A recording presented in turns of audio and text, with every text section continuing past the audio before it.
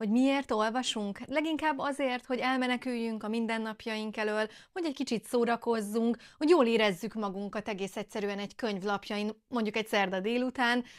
Ehhez képest vannak olyan könyvek, amik viszont abszolút nem erről szólnak, amik tényleg igazán komoly témákat dolgoznak föl, amilyen például a gyász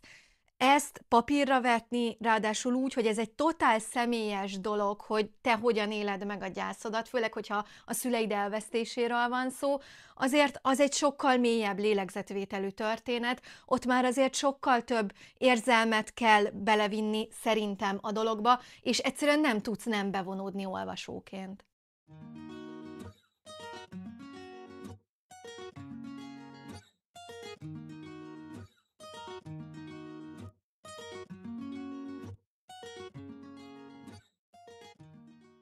Sziasztok, könyvmolyok, ez itt a Borító alatt csatorna, én pedig Rita vagyok. A mai könyvünkben Eni Árnó a hely, egy asszony, ez két kis regény. A mai könyvünk az arról szól, hogy hogyan dolgozta föl az írónő a gyászát.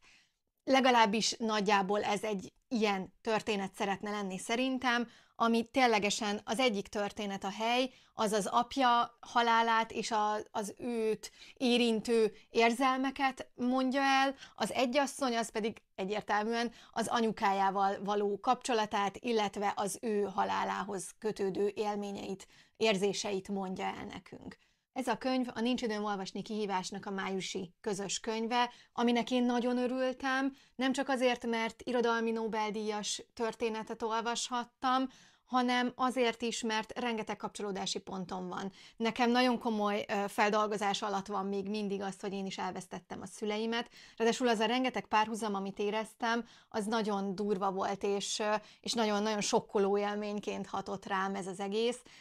tíz év után írta meg az írónő ezt a történetet, és én is tíz éve veszítettem el a szüleimet, szóval nagyon, ez, ez csak így a kezdeti felütés volt, hogy hú, akkor lehet, hogy én ezt át fogom tudni érezni elég rendesen. Amikor először beleolvastam, akkor már éreztem, hogy ajjaj, itt nagyon fognak potyogni a könnyeim, ahhoz képest egyébként nem potyogott annyira sokszor, viszont rengeteg felismerésem volt közben, hogy ugyanezt éreztem, ugyanígy gondolkodtam, ugyanez a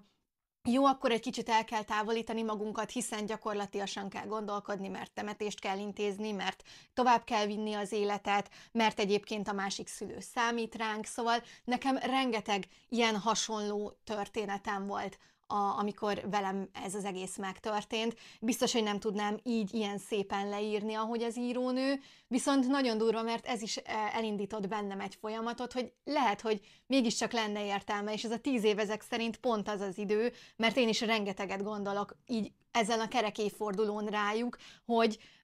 hogy lehet, hogy, hogy, hogy ideje lenne nekem is gondolkodnom, írnom erről az egészről de aki félne attól, hogy így nagyon bevonódik és nagyon érzékenyen érinti a téma, hiszen érintett ő is egy ilyen szülőelvesztéses történetben, annak azt tudom mondani, mint érintett, hogy amúgy annyira nem vészes a dolog. Tehát nem fogod azt érezni, hogy Úristen, én is és Jézusom, legalábbis én nem éreztem ennyire brutálisan. Megvoltak a közös pontok, megvoltak az azonosulások, viszont tudott akkora távolságot tartani az írónő az írásában a szüleivel való kapcsolatához, illetve szerintem velünk is tudott akkor a távolságot tartani, ami miatt nem volt meg ez a tényleg minden oldalon elsírod magad érzés. Úgyhogy a zsepit készíthetitek, de nem biztos, hogy szükség lesz rá, nem biztos, hogy akkora mértékben fogjátok használni, mint amit elsőre gondoltok ezzel a témával kapcsolatban. Viszont nagyon jó volt az egész, és emiatt nem feltétlenül van rá szükség, mert nagyon komoly társadalom ábrázolása van, nem feltétlenül kritika, bár érzek egy kis kritikai hangsúlyt is benne, ahogy a szülei életét, meg a nagyszülei életét elmeséli, visszavetítve arra, hogy, hogy ezáltal ő milyen ember lett, a szülei milyen emberek voltak, szóval egy csomó ilyen érdekes, plusz dolgot rak bele, ami nem feltétlenül csak az érzelmi meg a gyász része, hanem tényleg az, hogy egész egyszerűen feldolgozzuk azt, hogy a szüleinknek milyen élete volt, és ez milyen hatással volt a mi jelenlegi életünkre. De nyilván sokatokban felmerül a kérdés, hogy akkor miért olvassuk el ezt a könyvet. Szerintem azért, mert egyrészt, aki már túl van ezen a traumán, annak egy kis megnyugvás tud lenni. Tudjátok, mindig van az az érzés, még hogyha nem is arról van szó, hogy akkor dögöljön meg a szomszéd tehene is, tehát hogy nem, nem ez, hanem az, hogy egy kicsit érzed azt, hogy mással is megtörtént, hogy nem vagy egyedül ezzel a traumával, ezzel a problémával, ezzel a gyászfeldolgozással. Szerintem emiatt jó ez, mert nem pszichológiai oldalról, nem a lelked mélyébe vágva próbálja azt mondani, hogy nem vagy egyedül, hanem teljesen szép irodalmi módon érzed azt, hogy tök jó, lehet ezt így is, mással is megtörténik, túl tudunk rajta lenni, és lehet, hogy kell tíz év, hogy igazán meg tudjunk szólalni ezzel kapcsolatban, de, de van rá esélyed, és így értettem a tök jót, hogy van rá esély, és, és lehet, hogy most, ha, ha ez viszonylag rövid időn belül történt veled, akkor nyilván azt érzed, hogy soha nem lesz jobb, és mindig ott marad, és soha nem lesz jobb. Ezt teljes mértékig aláírom, de tud tompulni az a fájdalom, amit érzünk. És ezt nagyon-nagyon jól leírja szerintem az írónő, hogy igenis tud tompulni, és igenis kell, hogy tovább éld az életed, hiszen a szüleid nem azért neveltek, és nem azért dolgoztak, bármilyen módon, akár lelkiekben, akár tényleg fizikálisan, hogy te utána feladd és csak kesereg. És szerintem ez egy nagyon jó mondani valója a könyvnek. Nekem ez egy, egy nagyon fontos tanulság volt. Úgyhogy pénteken jövök a kibeszélővel, holnap után számítsatok rám.